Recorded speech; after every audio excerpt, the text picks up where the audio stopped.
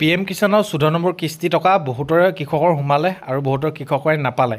সেই চৈধ্য নম্বৰ কিস্তি টকা অহা যিটো পোন্ধৰ নম্বৰ কিস্তি টকা দিব তেতিয়া সেইসকলে কৃষকে পাবনে নাপায়? আৰু বহুতে আপোনালোকে কমেণ্ট কৰি সুধি আছিলে যে পোন্ধৰ নম্বৰ কিস্তি টকা কৃষকৰ কেতিয়ালৈ সোমাব? আৰু আপোনালোকে কেইটামান কাম কৰি ল'ব লাগিব যিসকলে পোন্ধৰ নম্বৰ কিস্তি পাবলৈ গৈ আছে আৰু যিসকলৰ চৈধ্য নম্বৰ কিস্তি টকা নোসোমালে।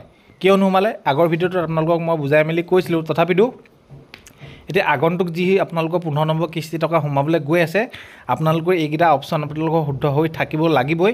আৰু আপোনালোকৰ যদি এইখিনি ভুল হৈ আছে আপোনালোকে ক'ত শুধৰাব পাৰিব? বা কোনখিনি অপশ্যন আপোনালোকৰ শুদ্ধ হৈ থাকিব লাগিব তেতিয়াহে আপোনালোকৰ পইচা সোমাব।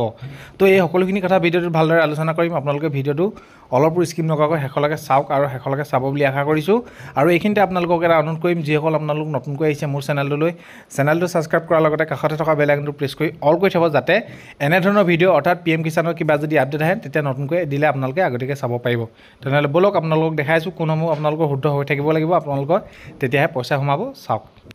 এইখিনিতে আপোনালোকক জনাই থওঁ মই ইয়াৰ আগৰ ভিডিঅ'টোত কৈছোঁ যে আপোনালোকে বহুতে সুধি আছিলে আপোনালোকৰ ৰেজিষ্ট্ৰেশ্যন নম্বৰটো আপোনালোকৰ ৰেজিষ্ট্ৰেশ্যন নম্বৰটো পালেহে আপোনালোকে নিজৰ মোবাইলতে চাব পাৰিব আপোনালোকৰ কোনসমূহ ষ্টেটাছ শুদ্ধ হৈ আছে বা আপোনালোকে কিসমূহ ষ্টেটাছ ভুল হৈ থকাৰ বাবে আপোনালোকৰ পইচাটো সোমোৱা নাই। চ' সেইবাবে আপোনালোকে ষ্টেটাছটো আপোনালোকে ভালদৰে চাবলৈ হ'লে আপোনালোকে ৰেজিষ্ট্ৰেশ্যন নম্বৰটো আপোনালোকে আপোনালোকৰ যিটো আপোনালোকৰ কৃষকৰ অফিচ পৰে আপোনালোকে তাৰপৰা আপোনালোকে কালেক্ট কৰি ল'ব। তেতিয়া আপোনালোকে মোবাইলে চাব লাগিব।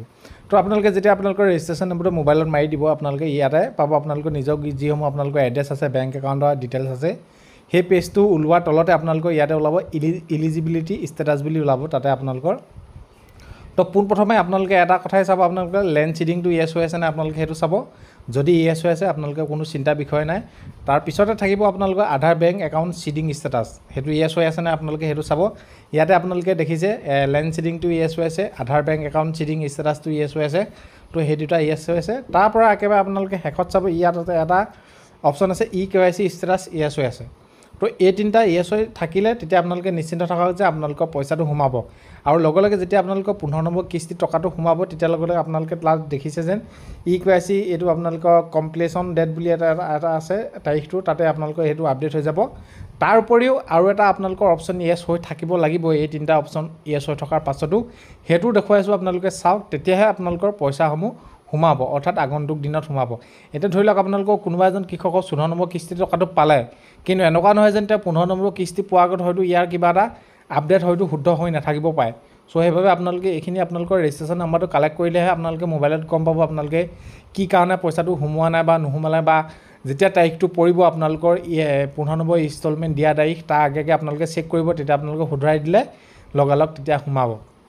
তাৰ আগতে আপোনালোকৰ যিটো নেক্সট অপশ্যনৰ কথা কৈছোঁ সেইটোলৈ যোৱাৰ আগতে আপোনালোকক জনাব বিচাৰিছোঁ যে আপোনালোকে সুধি আছিলে যে পোন্ধৰ নম্বৰ ইনষ্টলমেণ্ট কেতিয়া দিব।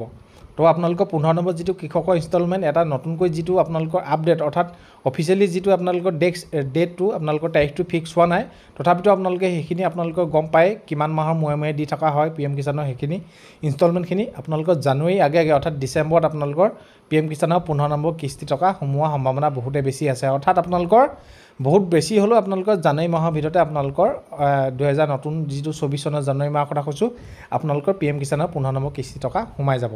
তো এতিয়া আহিছোঁ আপোনালোকৰ যিটো নেক্সট অপশ্যন যিটো শুদ্ধ হৈ থাকিব লাগিব তেতিয়াহে পইচা সোমাব। সেইটো দেখুৱাইছোঁ আপোনালোকে চাই লওক। এতিয়া নেক্সট যিটো অপশ্যনৰ কথা কৈছিলোঁ আপোনালোকৰ ইয়েছ হৈ থাকিব লাগিব। কাৰণ কেলৈ ওপৰ তিনিটা যিটো অপশ্যন আছে সেই তিনিটা ইয়েছ হৈ থাকিলে আপোনালোকৰ নহ'ব। এইটো আপোনালোকৰ ইয়েছ হৈ থাকিব লাগিব তেতিয়া আপোনালোকে ধৰি লওক আপোনালোকৰ পইচা সোমাবই তাৰ কোনো আপোনালোকে চিন্তা কৰিবলগীয়া বিষয় নহয় অৰ্থাৎ চিন্তাৰ কাৰণ। নাই সেইটো হৈছে আপোনালোকে দেখিছে সেই তিনিটা অপশ্যনৰ যিটো আপোনালোকে ইলিজিবিলিটি ষ্টেটাছ আছিলে তাৰ তলতে আপোনালোকে পাব লেটেষ্ট লেটেষ্ট ইনষ্টলমেণ্ট ডিটেইলছ তো আপোনালোকে যিটো আপোনালোকৰ কিস্তি পাবলগীয়া হৈছে যিহেতু পোন্ধৰ নম্বৰ কিস্তিটো সোমাব হয়তো কোনোবা নতুনকৈও পাব পাৰে বা কোনোবাই এতিয়া অলপ দিনৰ আগত কেইটামান কিস্তি পাইছে সেইটো নিজৰ অনুযায়ী সেইখিনি আপোনালোকৰ সোমাই থাকিব। ইয়াতে আপোনালোকে দেখিছে তলত আছে এফ টি অ' প্ৰচেছ তো এফ টি অ' প্ৰচেছটো আপোনালোকৰ কি হৈ থাকিব লাগিব? ইয়াত থকাৰ দৰে ইয়েছ হৈ থাকিব লাগিব। আপোনালোকৰ E K I C update হওক আপোনালোকৰ আধাৰ বেংক ষ্টেটাছ হওক আপোনালোকৰ লেণ্ড চিডিংটো হওক তাৰ উপৰিও আপোনালোকৰ F T O' process yes হৈ থাকিব লাগিব তেতিয়াহে আপোনালোকৰ পি এম কিষাণৰ আপোনালোকৰ পইচা সোমাব। আৰু আপোনালোকক মই কৈছোঁ যে আপোনালোকে সুধি আছিলে যে পি এম কিষাণৰ পইচাটো কেতিয়া সোমাব আপোনালোকৰ পোন্ধৰ নম্বৰ ইনষ্টলমেণ্ট আপোনালোকৰ জানুৱাৰী মাহত অৰ্থাৎ ডিচেম্বৰৰ আগে আগে শেষত হয়তো হ'ব পাৰে নহ'লে আপোনালোকৰ জানুৱাৰীত পইচাটো সোমাই যাব কোনো চিন্তাৰ বিষয় নাই। কিন্তু আপোনালোকে ৰেজিষ্ট্ৰেশ্যন নম্বৰটো আপোনালোকে কালেক্ট কৰি লওক তেতিয়া আপোনালোকৰ বহুতেই সুবিধা হ'ব। সেই ৰেজিষ্ট্ৰেশ্যন নম্বৰটো ক'ত পাব আপোনালোকে বহুতে সুধি আছিলে। আপোনালোকক মই ইয়াৰ আগৰ ভিডিঅ'টোত কৈছিলোঁ আপোনালোকৰ গাঁওবুঢ়াৰ ওচৰতো হয়তো সেইটো পাব পাৰে আপোনালোকৰ গাঁৱৰ। নহ'লে আপোনালোকে অফিচত খবৰ কৰক আপোনালোকৰ যিটো অফিচ পৰে কৃষকৰ তাত আপোনালোকে সেইটো পাবই।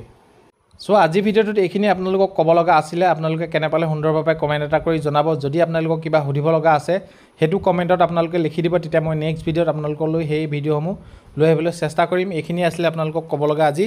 তো ভিডিঅ'টো শেষলৈকে চাই থকাৰ বাবে বহুত বেছি ধন্যবাদ। আৰু আপোনালোকক ভিডিঅ'টো প্ৰথমতে কৈছোঁ মই আকৌ কৈছোঁ আপোনালোকক এটা অনুৰোধ কৰিছোঁ। নতুনকৈ যিসকল আহিছে মোৰ চেনেলটোলৈ চেনেলটো ছাবস্ক্ৰাইব কৰাৰ লগতে কাষতে থকা বেল আইকনটো প্ৰেছ কৰি অল কৰি থ'ব যাতে নতুন ভিডিঅ' দিলে আপোনালোকে আগতীয়াকৈ চাবলৈ পায়। যেতিয়া আপোনালোকে চেনেলটো ছাবস্ক্ৰাইব কৰি দিয়ে তেতিয়া নতুন নতুন ভিডিঅ' বনাবলৈ উৎসাহ পাওঁ বা প্ৰেৰণা পাওঁ সেইবিলাক হৈছে আপোনালোকৰ মৰম। মৰমবিলাক কেতিয়াও পঢ়িব নোৱাৰোঁ আপোনালোকৰ ওচৰত সদায় চিৰকৃতজ্ঞ হৈ ৰ'ম তো আজি ভিডিঅ'টো ইমানেই। Love you all thank you so' much bye by